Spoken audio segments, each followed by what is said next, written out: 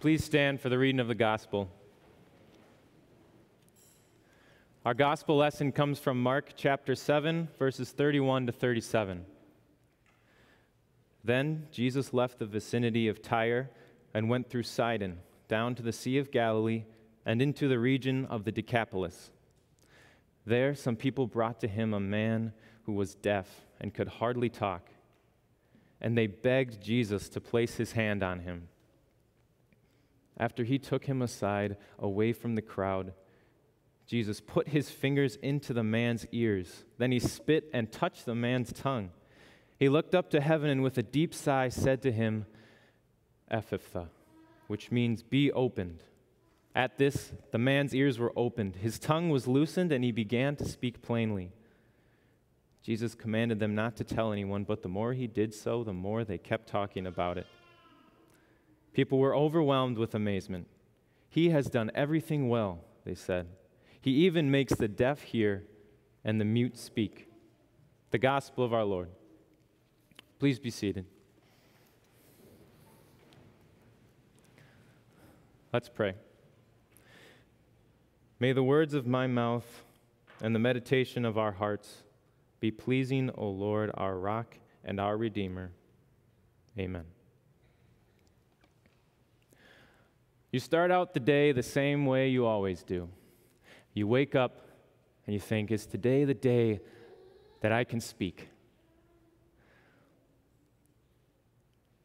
No. Same old, same old. So you move on to your next activity. You go into the marketplace where there's the most people walking around, hoping that people might drop a coin your way. As you sit there and you watch them pass by one after the other, not even looking at you as if you've blended into this dirt and the building because you've been there for so long. No compassion is shown, nobody cares.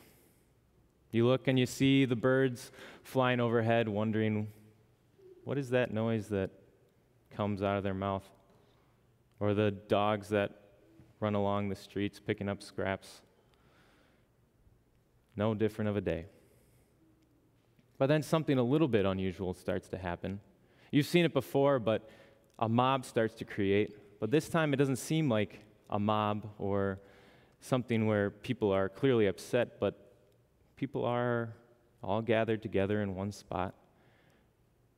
This is strange. So you, you get up and you walk over there. You try to read people's lips, their faces, to see what's going on because you can't hear what they're saying. And then you see a man in the middle, and everybody's eyes are locked on him. So he must be important. But you start making your way through the crowd, and you try and watch him. And then you see some people that you know go up to him, and they point you out, and then you feel somebody grab your arm and take you over to him, and you're standing there right in front of this guy that's clearly of much importance. And what are you supposed to do? Can't talk to him. Just wave, maybe. But then he just smiles at you and he puts his arm around your shoulder and he walks you out away from the crowd, away from the commotion, away from all the hubbub, and stands right before you and looks you in the eyes, and you can tell that this man actually cares about me. This man, this man knows something. And then he shoves his fingers in your ears, and then he spits and then touches your tongue. And then you're thrown back by this, but then that thought quickly fades because then the instant rush happens. The sounds vibrating in your ears as you hear this man speak to you. The first words you ever hear are of the one who just healed you. And then you hear the song of the birds and the dogs licking up food off the ground, and the people whispering to each other, wondering what just happened. And then you speak. what do you say? What's the first thing you say? Thank you, probably. But this man before you, you have no idea who he is, but he just took away the biggest thorn in your flesh. So you can't help but thank Him. Dear friends, today we are going to put ourselves in the sandals of this man who's deaf and mute. And we're going to walk out of here with the encouragement to both be opened in regards to our ears and to our mouths. In our text for today, Jesus was traveling all around Israel, not just in Israel to the Jews, but all around the areas that surrounded it, around those, to those different cities preaching his truth, the truth that he is the Savior to all people. And throughout Scripture, we get to see perfect examples of what he does. And today, Mark gives us a window to look through as we watch our Savior pour out compassion on this man who needed it. We get to see our Savior care for someone someone who is stuck, stuck as a burden to society, stuck with feeling like nobody cared, that nobody was there for him. But yet, Jesus takes time out of his limited time on this earth to individually connect with him. That's love. And we constantly see this love of our Savior and he deals with this man with such care, this man who is an outcast, who we may seem as some random person, but to Jesus, this is a man who he knows. This is a man who is his heartbroken and struggling child. So listen again to Mark as he recounts this moment, which he saw. After he took him aside away from the crowd, Jesus put his fingers into the man's ears, then he spit and touched the man's tongue. Did you catch the tailored healing that Jesus provided for him? This man could not speak or hear, which are pretty crucial when you're trying to communicate with someone. So Jesus communicates him through a different way, through physical touch. As if saying, I'm going to heal you. And this is just such a cool way, a cool thing that we can see our Savior as He shows how much He knows this person. It's probably to us seems really gross and weird, but it is a unique, tailored healing. It's not hard to have compassion on people like this man or other people that are struggling, heartbroken, it's not hard to see them and want the best for them. But how quickly does that compassion sometimes turn into an envy? As we see somebody get free stuff when they're struggling with finances or people donating money, and maybe sometimes we think, well, I, you know, I could really use some money too, but here I am. Or we hear this story of this man and think, wow, that's awesome that he was healed and the worst part of his life is now over. But what about me? Where's my miracle? Where's my quick fix?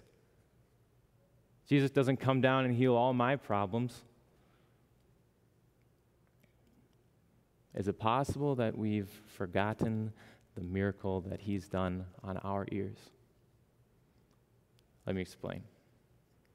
Since birth, we were deaf to God. We were deaf, spiritually deaf to His word, to His love. We hated Him. We were enemies of Him. We wanted nothing to do with Him. We wanted only to do evil. But then with the words, I baptize you in the name of the Father and of the Son and of the Holy Spirit. Those words were spoken, connected with water. And at that moment, Jesus brought you to the gates of heaven and said, This child is clean. This child is holy because this child is me. I have given them all of my righteousness, I have given them all of my perfection, and now it's theirs. So they will forever hear my love. And yet, after Jesus claims us as his own dear child, we go back and start acting like a child. We plug up our ears and start worrying and stressing about all these things in our life that pile up. And we conclude with the question Does Jesus even care? After all these things that he's done for us, and then we just go right back to that question. When people are dying, when health is fading, when your finances are falling, when the economy is failing, there doesn't seem like any hope. And we start not only not listening to his word, but then we start listening to other messages, to messages that tell us that you can do what you want, it's okay. Yeah, church is good and Bible class is good, but I've got some other things to do. I've got more important things to do. And we get in this mentality, this mentality that sin isn't that big of a deal, maybe because I'm already saved. So.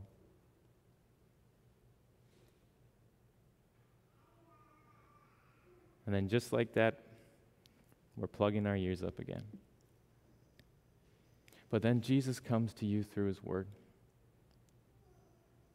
He says, My child, why are you closing your ears to my love? Why are you closing your ears when I tell you how to live? Why are you plugging your ears to me?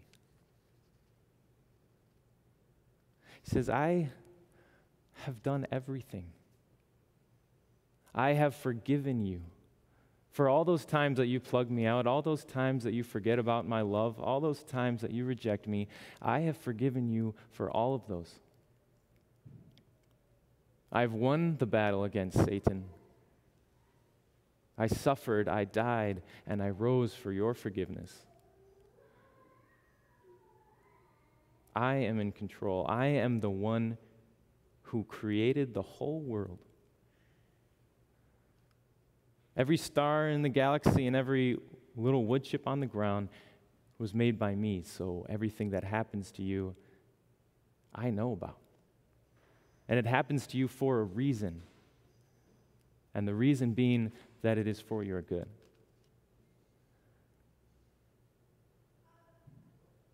I am in control. And I love you. it's clear that He cares so much about you. So open up. Listen to the love of your Savior. Listen to the compassion that He spreads on you through His Word, through loved ones, through your pastors. He's the only one who personally connects with you the only one who has a perfect care, a perfect love that will never leave your side. The creator of the world cares about you. The creator of you cares about you. Through this account, we see Jesus care for the hurting man. And we can conclude that Jesus has that same compassion and care for us. So now, thankful that Christ has miraculously opened our ears to hear his love, we'll use that same phrase be opened to tell our mouths to share the compassion to other people. Listen to what happened after the miracle. At this, the man's ears were opened his tongue was loosened, and he began to speak plainly. What would you do if your car or bike was broken? Right after it got fixed, you'd go ride it. You'd go drive on it. So, how much more would it be for somebody who could not speak, could not communicate with someone, that now all of a sudden he gets to? He'd probably be running around all over the place trying to have conversations with everyone. Hey, what's your name? Oh, I love the sound of that name. Where are you from? Where do you live? What's your family like? Okay, gotta go. Next person. Hey, what's your name? How are you? How many kids do you have? And just running around, yapping up a storm to everybody around him now that he has these new possibilities. It'd probably be, get, it'd probably be hard to get him to stop. But yet, that's exactly what Jesus does tell him to do. He tells him to not talk about it. Why would he tell him this? Well, it's not wrong to spread the news about Jesus. We hear that throughout Scripture that that is what we are to do. But it's possible that in this account, Jesus does not want them to spread about him because they don't know who he truly is. To them, he is simply a miracle worker who has healed a person or somebody who's just there to deal with physical things. So he does not want them to be running around telling people that this is Jesus, he's the guy who just heals people. He's the guy who helps you out when you're when you're stuck. He'll get rid of anything physical that you need. So, what's the right idea to have about him? The idea, the truth that Jesus is the Savior, the one who died, the one who rose. But they didn't know that yet because he hadn't done it yet. So even when they say he has done everything well, they have no idea how well Jesus was actually going to do things. that he was going to make his way to the cross after this and provide eternal healing, spiritual healing for every single person. So, may our mouths be open to share that compassion because you know it. You actually know the message, the full truth. It's all written in our Bibles of everything that we need to know that God has provided for us to know. So let's share it. Not just sharing physical compassion to people, although that is great. And that is also God pleasing to do. To tell people and to, to comfort them, to be there for them to provide them with resources, with food, with clothing, and just be kind to them. But that only goes so far.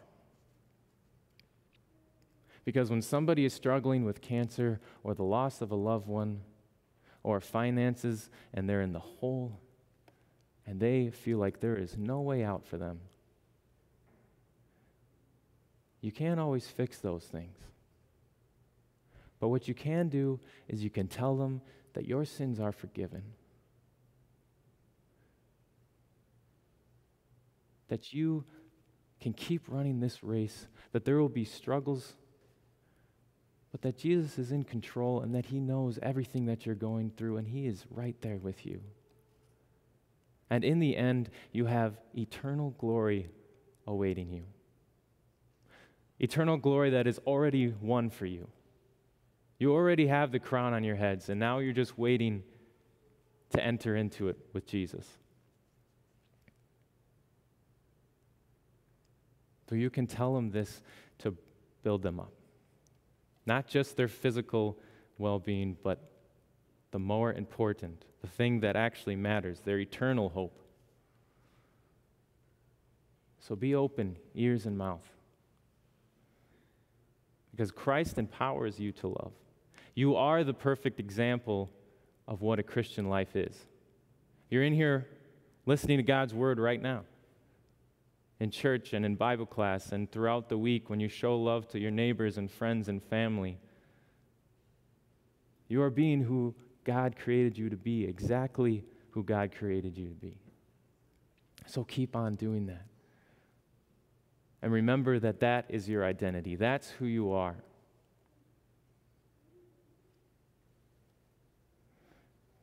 As we see the compassionate care of Christ, as he deals with the deaf and mute man and heals him, we can confidently say that he has healed us too. He has miraculously opened our ears and our mouth.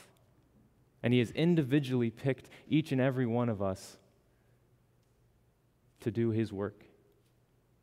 So may your ears be open to hear the love of your Savior every day. And may your mouths be open to show this love, to provide comfort, eternal comfort, to all people that need it. And everybody does. Because you are perfect examples of what a Christian is. So keep on doing that. Because that's who Christ made you to be. So be open. Amen. We continue by